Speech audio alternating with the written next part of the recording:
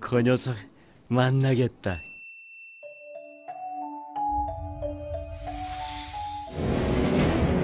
진정으로 강한 게 무엇인지 정말 소중한 게 무엇인지 힘만 세다고 해서 그런 건 진짜로 강한 게 아니야 1편보다 더 만나는 모험과 더 만나는 감동이 있는 온가족 애니메이션 2015년 4월 대한민국이 낳은 대표 공룡 캐릭터가 온다 밀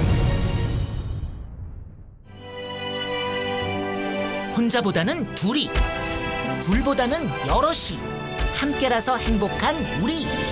그 녀석 만나겠다 투. 밀 하트. 함께라서 행복해.